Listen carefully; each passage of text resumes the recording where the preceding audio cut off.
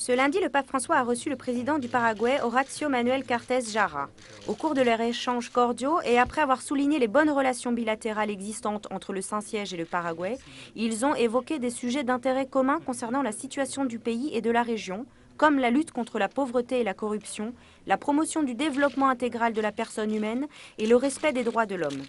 D'autre part, ils n'ont pas manqué de souligner le rôle et la contribution de l'Église dans la société, comme aussi la collaboration du Paraguay et du Saint-Siège sur la scène internationale.